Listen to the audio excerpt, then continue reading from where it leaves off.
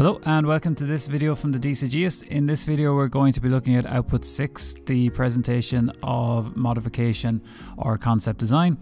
Um, in particular we're going to be looking at the marking scheme, then looking at what requirements come from that marking scheme, uh, what you should include in output 6, then how to sketch effectively in output 6 and annotate those sketches effectively in output 6 and then finally I'll give a suggested layout for your output 6. So looking at the marking scheme then, there are 10 marks going for this output and it's in one page. And what you'll see is that output 6 in 2022-2023 is the same as what was the pre-2022 output 8. Then looking at a bit more detail at the marking scheme requirements. So first of all, it doesn't say this in the marking scheme, but it is really important. And that is that all of the sketches you use in output six must be the original ones, not scanned. Okay. Now that's the same as in output two. Um, and most of this output really is very very similar to output 2 except this time it's going to be for your concept design rather than your rather than the one that already existed. So you'll see that there's a free hand graphical representation. Uh, the concept design must be based on the design requirement choices that you made in output 5 page 2 so output 6 is really a progression of output 5 um, page 1 and page 2 and um, bringing through the idea of coming up with your target market all the way towards having your concept design you need to make sure that you include a 3D presentation quality drawing with particular attention paid to proportion, form and volume, and the tone slash line for effective rendering. So what you're looking at there is that you want to have one big sketch that's 3D that has really good proportion, which you really need for all of your sketches.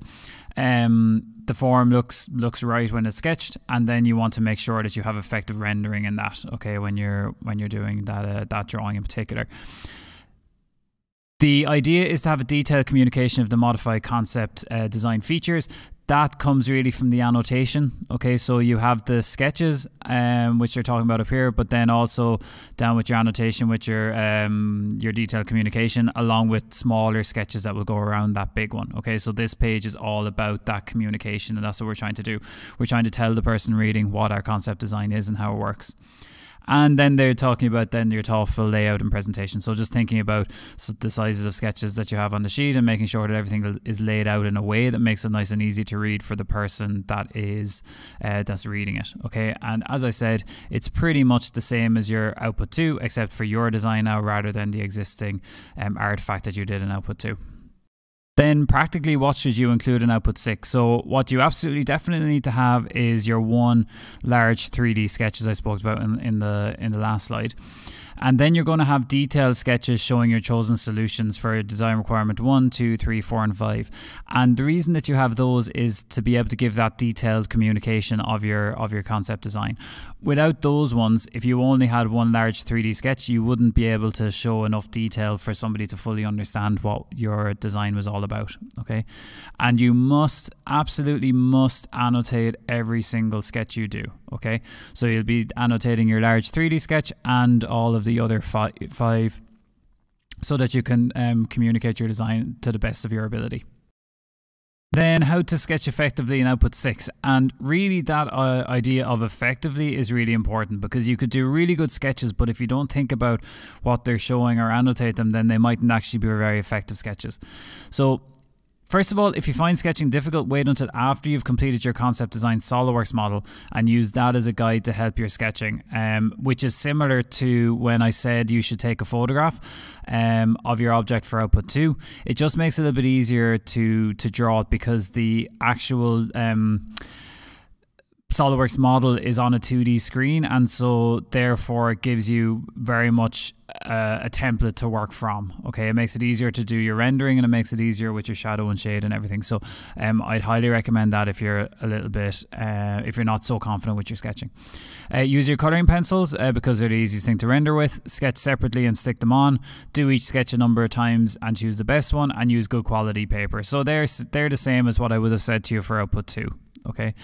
And then one of the most important things when it comes to sketching is that the best sketch in the world can always be improved with annotation because remember these aren't this isn't art we're not trying to draw the best sketches for the sake of drawing the best sketches we're trying to communicate something so a sketch with annotation is what's going to do that a sketch on its own just isn't enough to communicate your design effectively.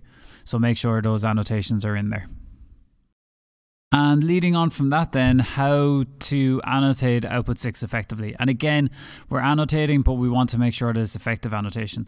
So you should refer to your five design requirements from output 5 when explaining each sketch. So constantly go back to those design requirements because you've already said that they're really important. Be clear and concise, so no extra words aren't vital to your explanation. We're not looking for paragraphs of text in your annotation, we're looking for quick, um, concise, clear words that you put in. Um, and probably for each one of your annotations, it's going to be one sentence and a max two sentences. Do them handwritten in upper and lowercase. Um, that just looks the looks the best. If you normally do joined writing, don't do joined writing, but just do your normal writing without joining them. Okay. Um, I wouldn't recommend um, typing out your annotation sticking it on. It just it just doesn't look well, and the the upper and lowercase handwriting does. Use black pen or marker uh, when you're doing your annotations. Um, what some people do is that they do it in pencil first, and then when they're happy with their annotations, then they go over it with the with the pen or the marker, and I find that that works very well. Um, and then your annotation should always be very close to your sketch and accompanied by an arrow. So you always want an arrow to show what you're what you're um, talking about, but you also don't want that arrow to have to be too long or to have to go around something. Okay, so you want to make sure that those annotations are very close. And remember then that if you give your output 6 to someone, you want to make sure that they'll understand your concept design and how it works by looking only at your, your sketches and your annotations. So you can't um, think about it that you would be there explaining it to somebody. You want it that your words and your sketches do all the explanation that you need. And then finally for output 6, how would I suggest that you lay it out? Um, I would have a large 3D sketch, okay, of your entire um, artifact and render realistically as the biggest sketch on your page. It doesn't necessarily have to be in the bottom left, it could be in the middle or it could be somewhere else on the page, but it needs to be there. Then I'd have one sketch per design requirement, so explaining each design requirement in a sketch, and then an object in use um, sketch is always a good thing to try to put in. So that would be somebody actually using it. So it could be your object um, with a hand in it in the actual the use case, because having somebody using it is a very good explanation of how it works. And then just remember that you print off your your page label for these pages, um, and you stick them on, and that'll keep your um, your formatting consistent throughout all of the pages and make it look as though everything is part of the same piece of work, which it obviously is, but you want to make sure that that's very clear. Thank you for watching this video. Um, I hope you enjoyed it and that you got something out of it. If you have any questions, please um, ask them in the comments and I will try to get back to you. Um, make sure that you like, you subscribe and you share the channel so that everybody um, can get the most out of these videos.